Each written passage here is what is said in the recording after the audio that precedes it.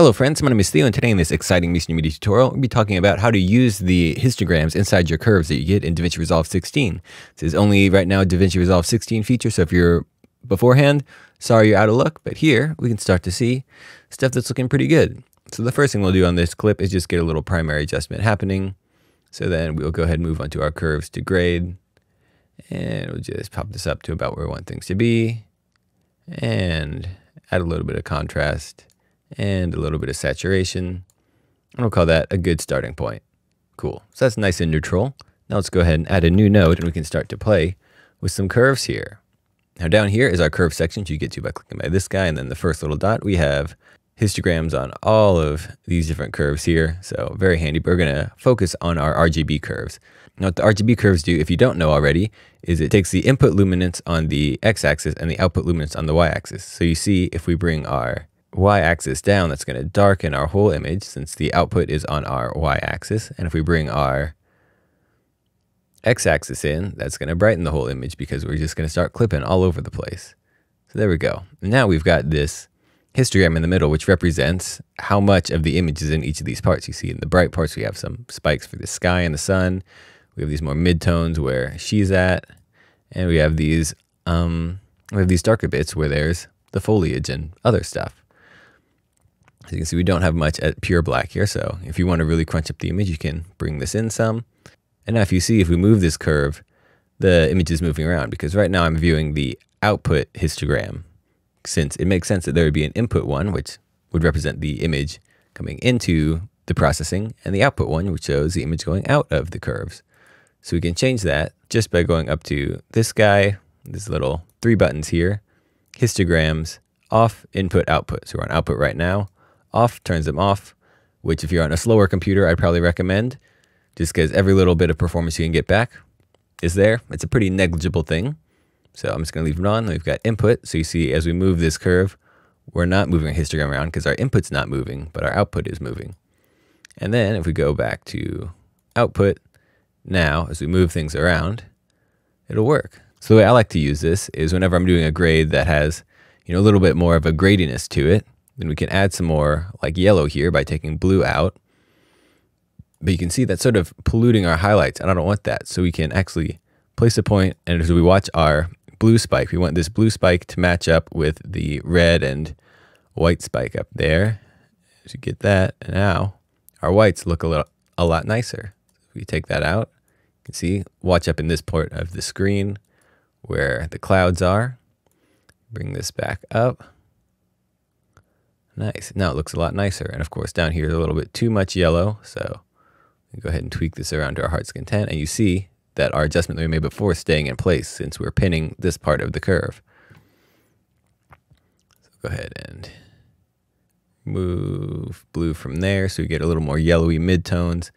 Now we can even add it back and black balance some.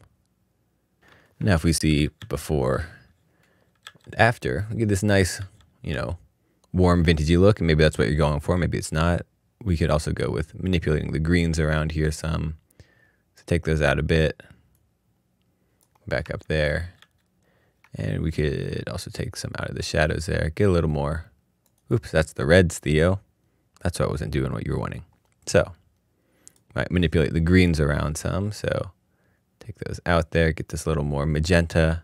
Magenta is always nice. And then get this up. So balanced up there. And now you can see we have changed her skin around some. So now it's this sort of more vintagey, warmer feel. And it's also, you know, changed our background a little bit, but it's not been a huge change to the whole image. It's just sort of, we've added a vibe while keeping the, you know, general, you know, what the DP intended lighting wise still there. Just sort of, boop. Now it's a little bit, you know, happier feeling, little more sunsetty, which is nice. And then it's just up to the director who prefers, know, maybe this more neutral one or this one with a little bit of vibe. So this same concept also applies to all of our other curves. So right now we're still viewing the output so we can say, you know, if we want to make our blues more teal, we can shift those around. You can see exactly where they're going, which is nice. Or maybe you want to make them pinky purple. That also works. And then also same with changing around our skin tones. You see we've got our nice warm stuff here. I Want to give her a sunburn there. I Want to give her jaundice. You move it like that. Very excellent. That's our hue versus hue curve. And then moving on to the next one, this is our hue versus saturation. So once again, you can see if we wanted to desaturate our sky, can make that happen because we can see exactly where our sky is. Well, before you'd have to you know, either pick there and find it and see that didn't even get our whole you know, exactly right thing. Or if you want to make it super saturated and then same with our skin over here, get really saturated. You can make her not saturated and get this, you know, sort of tampon commercial look. Who knows? Maybe it is one. Okay, same thing, hue versus luminance. Y'all get it. Make her skin brighter here. Really easily just selectively picking that out. Bump her up some. Sort of a cool look. Always be careful with these curves though, because it can get a little bit noisy. Could be fun to, you know, darken our sky. Bring out some drama in that. I kind of like that. Getting a little bit noisy, so maybe I'll lessen this some. Yeah, that noise.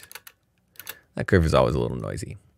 And then luminance versus saturation, you can see this one was always a hard one to gauge. So see, if we want to add some more saturation to our high midtones, so that'll probably be our lady here again. So yeah, bring that up, bring it down, works great. And then here are saturation versus saturation. And this one was always a hard one to eyeball because you can see it's a little bit like a an exponential thing. So we have very little super highly saturated. We've got a lot of less saturated. So we can make our less saturated even less saturated and then bring other stuff up. But I don't particularly like the way that looks. It works sometimes, but not in this one. But there you go. That's a nice quick little thing. All of these histograms are very useful, especially this guy right here.